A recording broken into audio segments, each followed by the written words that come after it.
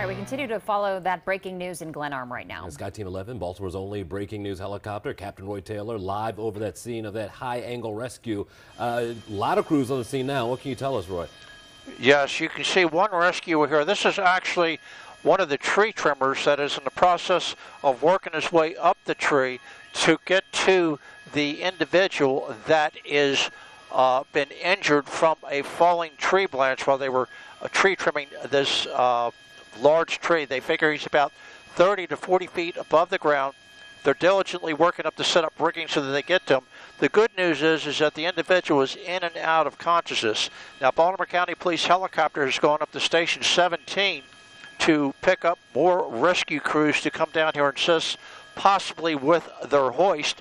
Maryland State Police has been requested for here for transport as well.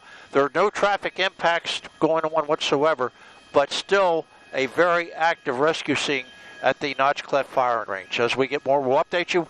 Reporting live at Sky Team 11, I'm Captain Roy Taylor.